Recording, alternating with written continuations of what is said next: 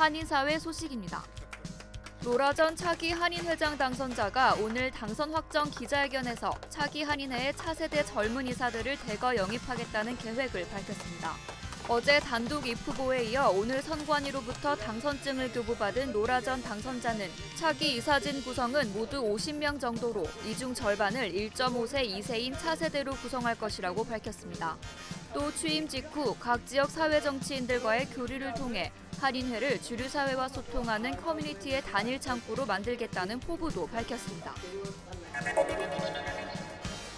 연방 센서스국이 오는 7월부터 한인을 포함한 아시안 주택 보유 현황을 별도 항목으로 분류해 집계에 포함시킵니다.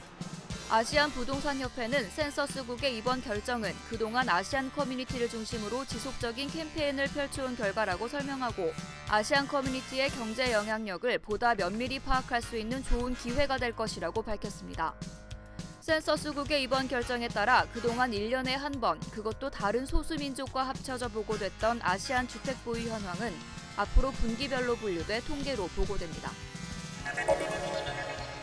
가주건설협회가 이번 달부터 시작되는 LA시 지진보강공사 프로그램에 대한 설명회를 개최합니다.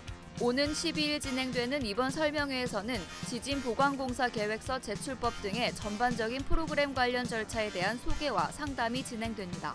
LA시는 지난 2월 지진 취약 건물로 분류된 목조 아파트 소유주들에게 지진 보강공사 명령 안내문을 발송한 바 있습니다. 한미은행이 세리토스와 가든그로브 각 한 개 지점에 문을 닫습니다. 한미은행 측은 그동안 세리토스와 가든그로브에서 두 개씩 모두 네 개의 지점을 운영해오다 이번에 영업망이 겹치는 두 개 지점을 정리해 효율성을 높이기로 했습니다. 폐점되는 지점들은 오는 7월 29일까지 운영합니다.